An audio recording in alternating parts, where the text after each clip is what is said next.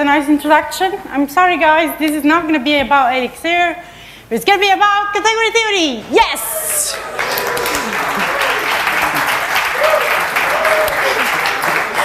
so, you probably have heard a couple of times this word today and yesterday as well. Um, but this is going to be completely different from the talks that you have seen so far. So, um, we are going to see some code. Uh, don't worry about it. It's on GitHub. You can have a look at it later. What I would like you to do is to follow the journey that we, I'm, I'm going to guide you through. Okay? So first of all, hi guys, I'm Daniela, and why am I here? Because being a Scala programmer sometimes is painful. So when I started my career, I did Java. And uh, at uni, I didn't study any functional programming whatsoever. Right? It was objects, objects, objects. Gang of four, know all the, all the patterns by heart, and that's it. There's nothing else. Right? And um, you know, then after a while, I decided to try something different. And I started to um, approach the Scala world. And suddenly, I realized that I didn't know what I was doing, right? I'm not a mathematician, right? And it was extremely painful. Sometimes it's still today pretty painful. And when I say that I'm not a mathematician, I say that in a good way. I wish I was a mathematician because my life would have been so much simpler now, right? I have to admit, there was a lambda calculus course when I was at uni, but it was extremely difficult. The teacher was uh, really tough at grading, so eh, didn't take it. So all, now everything is coming back, and it's extremely painful. So um, this talk is the result of myself going away and reteaching myself the basics because I wanted to understand what the beep all these people were talking when I was going at conferences. Why, why do they care so much about all these principles? Why they are so passionate about it? So, um, this is not going to be a mathematical introduction because we had a few already, and plus I'm not a mathematician. This is going to be my practical view on all the basics some of the basics of category theory, right? So there are not going to be many formulas. So don't worry about it. Hopefully it's going to be fun. And hopefully we will understand what's the general intuition between all these nice theories. So a little bit of a disclaimer. Um, you don't need category theory to write good Scala functional code.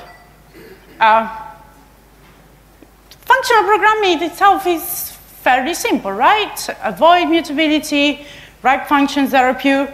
You don't need to know category theory to write Scala code.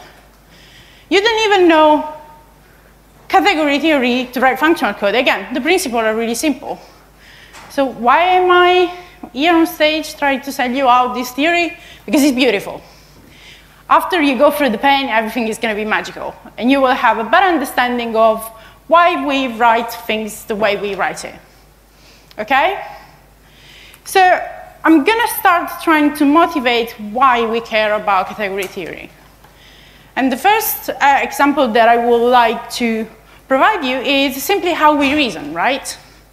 So every time we write some program, independently from any paradigm that we might use, either object-oriented or functional programming, what we want to do is basically we want to teach the computer something. So we want to teach the computer to reason. So the first question is, how do we reason, right? So let's assume that um, we just had lunch. Sorry, spoiler alert. We just had lunch, and we had to come upstairs to watch, um, to watch talk. So we know that we need to take the stairs, then turn right, turn left, and turn right again, right? We know the steps, right? But when we do this, our brain doesn't think about, okay, I'm going to contract the muscles in my leg to, you know, do one step and then the other, right? What we actually do is that we do two things. We abstracted out all the details that don't matter because we know how to work, right? And we divide our task in steps. Okay? So category theory is simply telling us, is studying how things compose. And in order to do that, has to forget a lot of details that are not important. Right? So there's no wonder why it's so powerful, because it's extremely useful when trying to represent things. But category theory, it's a difficult name, I'm not a mathematician, so I'm going to call it Arrow theory. That's it. Um, we're going to see in a second why I'm going to call it arrow theory. And the reason why I'm going to call it arrow theory because the only things that matters are basically arrows. So what is a category? It's an object. I'm going to comment on that, what an object is, and something, let's call it arrow, that has connects two objects together with a start and an end. What is an object? No idea. The only thing that we know is the arrow. The arrow is something that connects two objects. We are lucky. We are not mathematicians. Uh, so we can just assume that for the programs that we write, objects sometimes are types and arrows are functions, right? But in theory, mathematicians have a much harder job because it could be anything, right? Cool. Everyone clear so far? You probably recognize this concept from another like four or five talks on this. Good. Okay, so th there are some laws that are the rules of our game. Um, the first rule is the composition law. It basically means that if we know how to go from A to B and to B to C, then we automatically know how to go from A to C by composing the two arrows together, yeah? I'm going to go quickly on this because I know we've seen it. Um, the other law is that you need to have an identity. So you need to have the opportunity to stay where you are. And that is basically the little arrow here. Um, it just means that it does nothing, right? So if you go through the identity and then you move, you use the function, is the same of just using the function, yeah? I promise this will be we are almost done with the mathematical part, and then we can go to the fun stuff. Um, last, last rule that we have, so, so far we're seeing composition identity is associativity. Nothing crazy, just means that we don't care about the parentheses. Uh, what this means is that the green path is the same of the black one. Why don't we don't care about parentheses? Because we have better things to do with life, right? So these are our game, right? So category, it's, um, it's a set of arrows that connects objects together, and they have these rules. Identity, composition, associativity. If you don't have these rules, it's not a category. Okay? Cool. Um, so as Runa said, congratulations, you have learned everything there is to know about category theory. Um, so but what do we care, right? Because we're programmers, we're not mathematicians. So we do this all the time, we just don't realize it. So this is an example of a category. So imagine you have the set of all the strings in the world, and then you have all the ints and all the bools. We know that if there is a function between string and int, let's say call it size, and we have a function that goes from int to bool, call it bigger than 2, we know that automatically we can create a new function that is called size bigger than 2, right? We do this all the time. Same for it, the identity is possible to define the identity on a specific type. Okay? So everybody with me so far, yeah? The mathematical bit is almost over. Cool? Okay, let's start simple. What is a category with one object?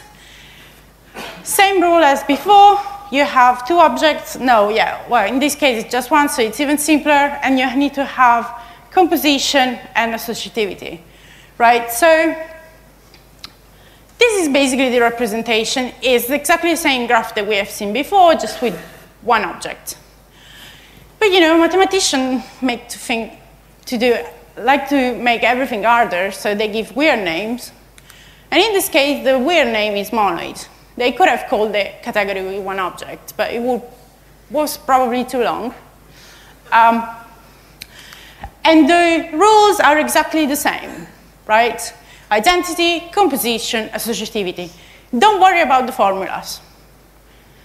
For us, the formulas are just tests that we can write once and run every once in a while, right? So we don't need to necessarily fully understand all the formulas. In fact, in my code, that is exactly what it did. I did it.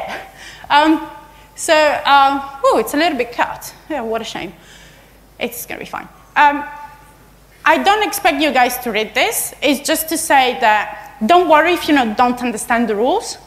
What you have to do is to copy them from a nice article, implement them with ScalaCheck or whatever language you use, and you're going to be fine. You don't have to worry about them, right?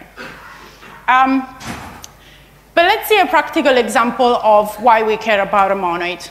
Um, super classical example, uh, same one that uh, Runa showed us. Let's assume that we want to represent all the natural numbers, right? Um, so this could be done with a monoid. So again, definition of monoid, it needs to have an identity, and it needs to have an operation. So let's assume that um, I have an object that represents all the int, and I need to pick an operation and then the identity that obviously is compatible, compatible with that operation. Um, the operation, for example, could be the addition, and in this case, the identity is zero, right? So what is a monoid? It's basically the arrow zero uh, that gets combined with the arrow one with the operation plus. Okay? So um, the reason why I'm saying that this is a representation of all the natural numbers is because you can create new arrows by combining two existing ones. So let's assume that I want to create the arrow number four. All I have to do is to combine the arrow one with the arrow three. And I will get a new row that is four. Okay? Cool. Uh, and obviously, again, identity is important. If you pick any arrow and you combine it with zero, you still get the same, the same uh, number back. Yeah, all good? But hey, we like code. How can we represent this in code, right? So, um, this, ooh, what a shame. Um, any, anyone from the staff that could kind of fix the, the screen would be great. Thank you. Um, yes, thank you very much. Awesome, you saved the presentation. Cool, super cool. Okay, back on track, no panic, everything is fine. You can do it. Okay, Bacon is with me. Um, so, um, Scala, right? We have type classes. All this means is that we need to define a type class that is called monoid that has two functions, an identity and uh, the composition that in this case would be just be a function that we call compose, right? We, we know how to do this. We do it every day, right? So for example, uh, if we want to implement the instance of um, a monoid for int, this is exactly the translation of the little graph that I showed you before, right? So for an int, compose will simply be the sum between two int, and the identity will be zero, right? But obviously, this doesn't apply only to ints. It also applies to strings, right? So you can define exactly the same thing, but for strings, where monoid is the concatenation of two strings, and the identity is the empty string. Yeah, everybody with me so far? Cool, now let's do some little bit more interesting stuff, right? So let's assume I have this beautiful category uh, that has a flower, has a little triangle, right? This is my beautiful category. And it is a category, right? The reason why it's a category is because I have an identity for every object, and I have an arrow that connects my, my object. I should also um, prove that, you know, composition works, composition is associative, but hey, we can leave that to the mathematicians. So um, what happens if we put our category in a box? So what I mean with that is that we take every object and we put it in a box. And then we take every arrow and we copy it over. Okay? So this is a little game that we are going to do with our category. So again, the rules are you take the object and you put it in a box, and then you copy the arrows. Um, basically, what happens is that you create a new category um, that, in a way, is a similar view of the previous one. But what you are doing is that here you're adding some information. And this information is metadata, is this box. Um, so to help you visualize this, you're basically saying, this is my data, but by the way, you need to know this thing about this data that I'm giving you, okay? And we do this in Scala every time. An example, option tells us that the data might or might not be there. Or list might tell us that there is zero or more instances of that data. Try. That box could explode any second. Future. That box will take a while to be filled in and it might not be a nice value to find, right? So we know how to do this. We do it already. We just don't realize there is category theory. Um, so again, um, weird names for simple things, category in a box, this idea of adding metadata about your data is called functor. And the rules are similar to what we have seen so far. Again, identity, composition, associativity. The formulas are getting a little bit more complex, but it's fine, we can handle it. So there you go, ScalaCheck for the win. We can just copy and paste them and create some test that will make sure that whatever implementation we provide they're still going to respect the laws of our game. Yeah? Um, another way of seeing this is basically um, what this graph is telling us is that we have a flower and we have a triangle and we know how to get there. But if we have a flower in a box, automatically we know that we can transform the flower in a box into a triangle in a box. We know this because these are the rules of our game, right? And how do we code this? Again, type class, right? So we say, if you want to call yourself functor, you need to tell me how to implement this function. This function is called map, and it tells me that if you give me a box of A, and you give me a way to transform the A into a B, then you need to tell me how to return a box of B. Okay? Everybody with me so far? Yeah? It's just following the types. We do this all the time. So just to demonstrate you guys that you don't need a powerful language to do this, I decided not to use option, the standard type in Scala, to define something that could, could or could not be there, but I defined my own. So I've defined a new um, type that is called maybe, inspired a little bit by Haskell, but it's fine. We are not going to tell them. Um, that has two possible value, just that contains a value, and empty that contains nothing. Okay? Nothing fancy in this, right? We're not using anything particular from the language. And yet, um, we can implement a functor for our type maybe. And the logic that we are going to use is if my box contains a value, cool, then I'm just going to apply that function to the value, and I'm going to keep the box. If my box is empty, sorry, bro, there's nothing I can do. Okay? Same thing with list. If my box contains nothing, there's nothing I can do. But if my box contains one or more elements, what I'm going to do is that I'm going to apply the function on each of those elements. Yeah? Everybody with me so far? Cool?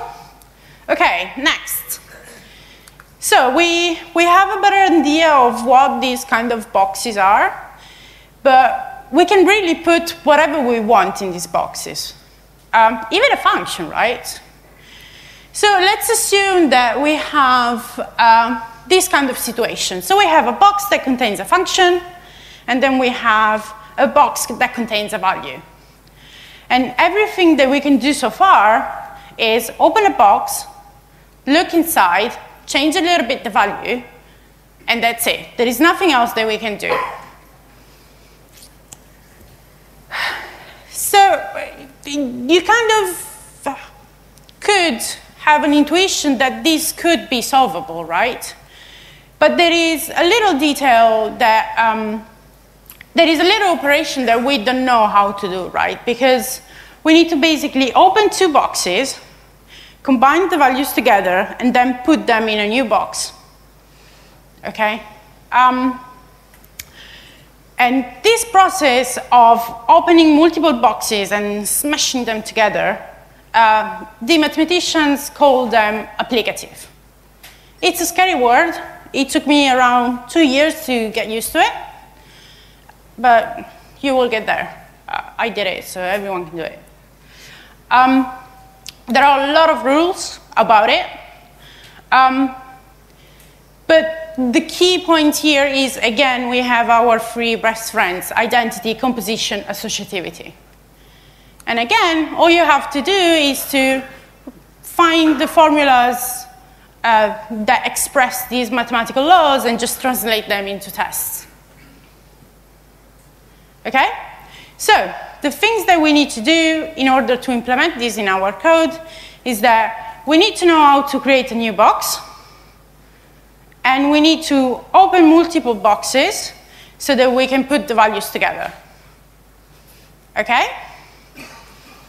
What are we going to use to implement it? A type class. So,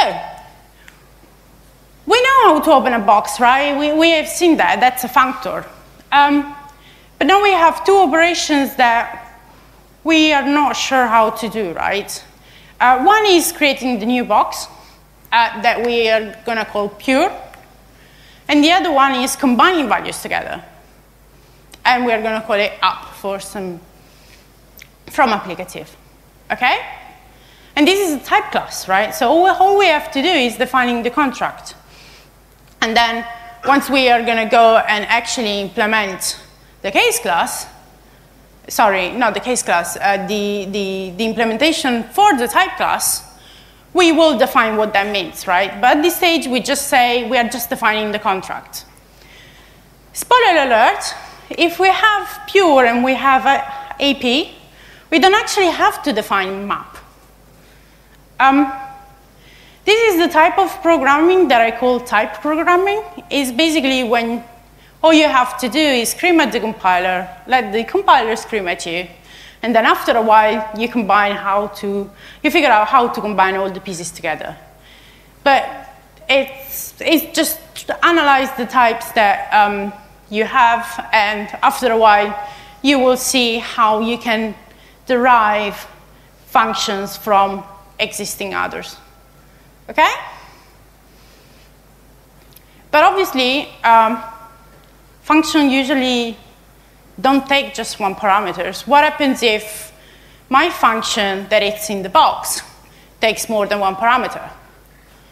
Well, it's the same, right? We just have more boxes to open and more values to combine. So for that reason, uh, in, at least in the Scala implementations that I've seen so far, what you have is that you have a lot of function AP, and they do AP1, AP2, AP3, AP4, up to 22. That's because we need to know how many parameters we need in order to apply our function. Okay? Cool. Um, example of implementation, right? So for an applicative for maybe. So what is the logic, right? I have a lot of boxes, and all these boxes are maybe. So if I can open them all, then awesome, I'll take the values and then apply the function so smash them together and then put them in a new box. What happens if any of them is empty? Sorry, bro. Cannot do anything. Um, so that is a really um, easy implementation.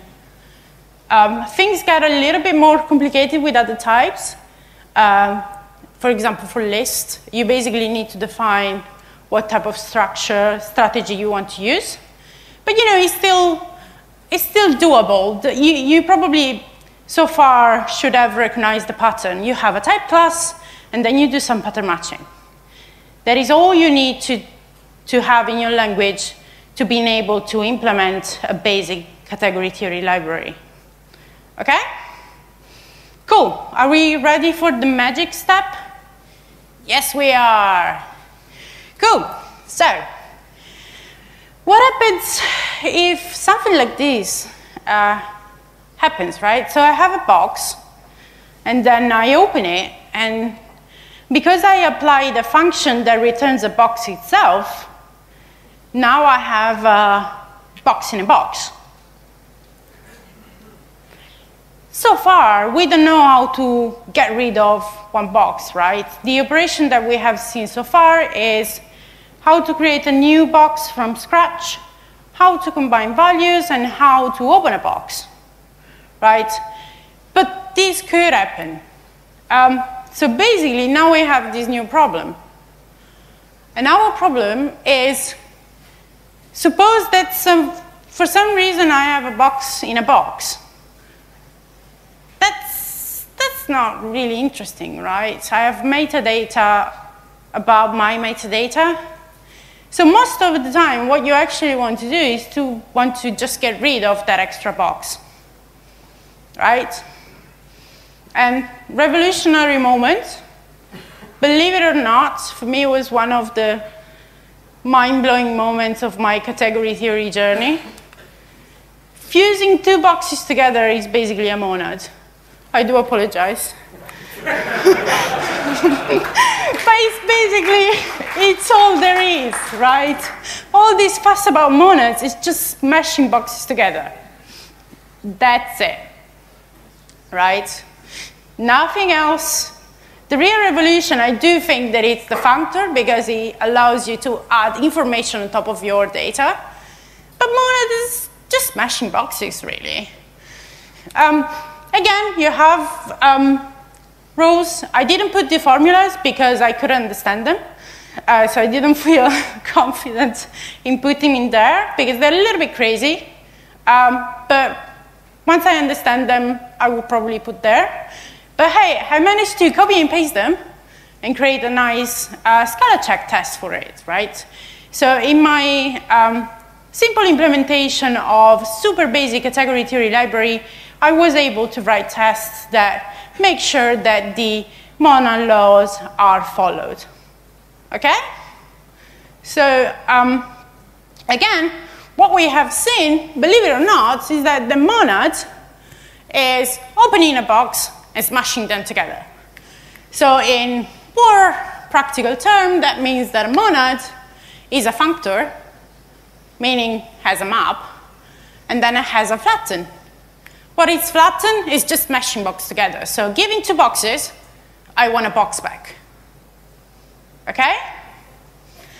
And because it turns out that this operation of smashing boxes together is fairly common, um, what we have in Scala is that we have an alias that is called flat map, that is basically map it and then flatten, right? It's just convenience, okay? But the reason why uh, people are so passionate about monads is because it allows you to do things in sequence, right? So let's assume that you have a box A and then you have a function um, that you apply to the box and you have, because you are using flat map, you basically move from a box of A to a box of B. What you can do is basically you can concatenate all these operations and basically build a path that goes from box of A to box of D.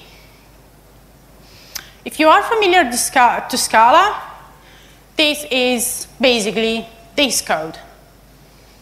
We know how to use for comprehension, right? It's like lesson two of when we start learning Scala, but they don't tell us that it's a monad that we are working on. They just tell us, yeah, yeah, syntactic sugar, don't worry, it works. Of course it works. It's beautiful. Okay? Everybody with me so far? Cool. Okay, next step. That is something that uh, it took me a while to understand, but uh, if of any consolation, it took a while to the Haskell people as well, is that actually monad is a little bit more powerful than a, than a functor. And if you are willing to swap things around a little bit, it turns out that monad is also an applicative. So in the previous implementation that we have seen, we basically, we were leaving abstract, flat map, and map.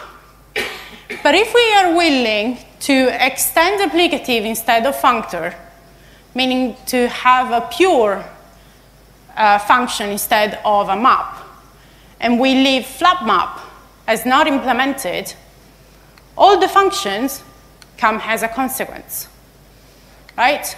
This basically means that you can see a monad either has a map plus flat map, uh, sorry, map plus flatten, or you can see a monad has pure plus flat map, okay? And there you go. That's a, uh, that's a possible implementation, right? Where uh, pure, we already seen what pure is. Pure is the same thing that um, we have seen when we discussed applicative, is just basically just of A. So we put our value in a new fresh box. And flat map is just matching over um, box of A. If we have a value, you apply the function. If you don't have a box, nothing to do. Okay? So this kind of code should look to you fairly reasonable. If not, I do apologize. I can improve my own code. Talk to me later. Okay, cool. And now, um, the sentence uh, that everybody's using to explain what a monad is. A monad is a monoid in the category of endofunctors. Right? okay, but now we kind of have the tools to understand what it is. Okay, so I have highlighted two words in this sentence. The first word is monoid, and the second one is endofunctor. Endofunctor is basically the same of functors. The reason why we say endofunctors is because we are programmers. Our life is 20 times easier than mathematicians. So we never go, we never create new categories from scratch. So when we create a function, a functor in Scala or any other language, we are basically mapping one category into the same category we are in. We are always talking about types and functions, right? It's called endofunctor when the source category and the tar target categories are the same. Okay, but if you are confused with that, don't worry, you can just say functors And probably mathematicians are going to be upset, but it's fine. Okay? The second word is monoid. And we have seen that monoid means basically two things. You have an identity and you have composition. Okay, composition is when you put things together, two arrows together, and uh, identity is basically an arrow that does nothing. Okay? Talking about code, monoid basically means that you have a pure function and you have a flatten function.